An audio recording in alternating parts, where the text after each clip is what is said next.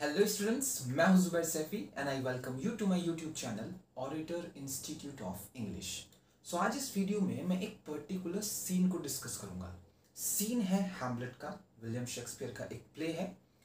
एक सीन है जहाँ पर ऑफिलिया कुछ फ्लावर्स लेकर जाती है एल्सिनोर कासल के अंदर। हमें लगता है कि वो रैंडमली किसी को भी कोई भी फूल दे रही है, लेकिन ऐसा नहीं है। उसके हर एक फूल को देने के पीछे एक रीज़न है। वो कुछ फूल नहीं भी देती है। मना कर देती है कि ये मैं किसी को नहीं दूँगी। उसके पीछे भी रीज़न है कि उसने वो फ्लावर किसी को क्यों नहीं दिया। तो उसने कौन कौन से फ्लावर किस किस को दिए? कौन कौन से फ्लावर उसने नहीं दिए और क्यों नहीं दिए? उसके पीछे क्या सिंबॉलिक यूज़ था? विलियम शेक्सपियर ने किस तरह से इस सीन का इस्तेमाल सिंबलिज्म के लिए किया? आज इस वीडियो में उसी सीन को डिस्कस करेंगे। बहुत सारे क्वेश्चन आते हैं इस पर्टिकुलर सीन से तो वो सारे के सारे आज जो डाउट्स हैं वो इस वीडियो में क्लियर कर लेंगे।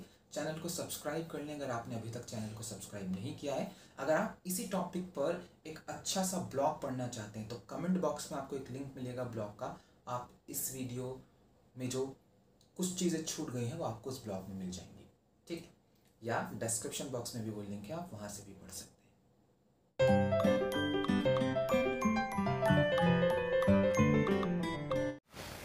पहला फ्लावर है rue Ophelia gives rue to queen Gertrude and keeps some of herself to Ophelia rue का फूल जो है, वो क्वीन जर्ट्रूड को देती है और कुछ अपने लिए भी रखती है। Rue has been the symbol of bitterness betrayal and adultery rue जो है, वो सिंबल रहा है बिटरनेस कड़वाहट का बिट्रेल धोखे का और एडल्ट्री का। एडल्ट्री कहते हैं जब आपका हस्बैंड है और आपके हस्बैंड के होते हुए आप किसी और मर्द के साथ सेक्सुअल रिलेशनशिप में जाए, वो एडल्ट्री कहलाती है और वाइस वर्सा तो यही इसी वजह से वो क्वीन जर्ट्रूड को देती है। People use to connect rue with abortions too in those days उन दिनों में रू का जो कनेक्शन था, लोग अबॉर्शन से भी जोड़ा करते थे कि इस खाने से, इसको लेने से अबॉर्शन हो जाता है।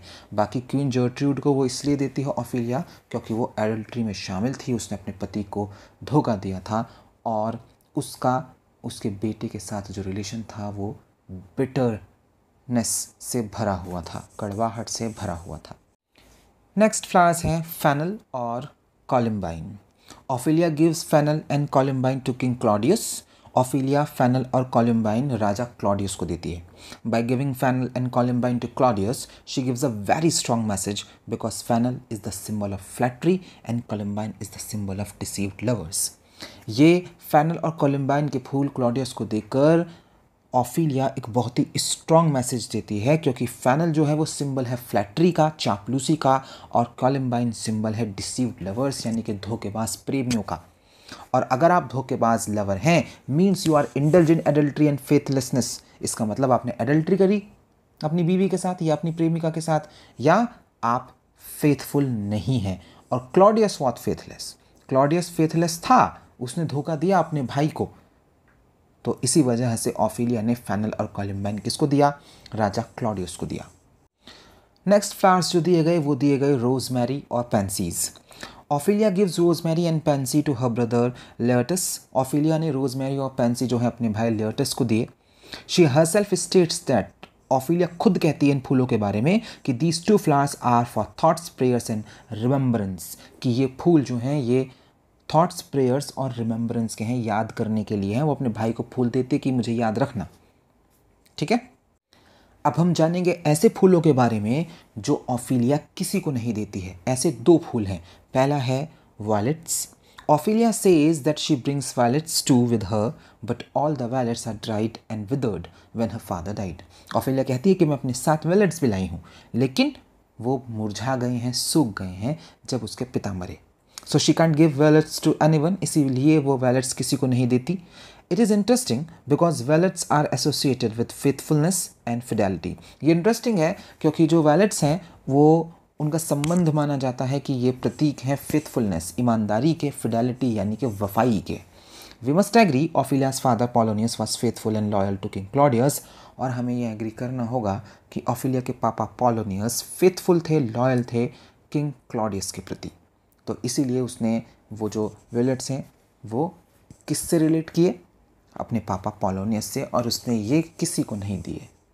दूसरा फूल जो किसी को नहीं दिया गया, वो था daisy. Ophelia picks up daisies and does not give them to anyone. Ophelia daisies को पिकअप तो करती है, लेकिन उन्हें वो किसी को नहीं देती। That's so harsh and truth ये बहुत ही हार्श है और ये सच्चाई भी है। क्यों? Because daisies are the symbol of innocence and gentleness क्योंकि डेजीज सिंबल माने जाते हैं इनोसेंस मासूमियत के जेंटलनेस सज्जनता के। Ophelia thinks that there is no one in the court of Denmark who might be considered innocent and gentle Ophelia को लगता है कि डेनमार्क के दरबार में ऐसा कोई इंसान नहीं बचा जिसे वो मासूम या सज्जन कह सके।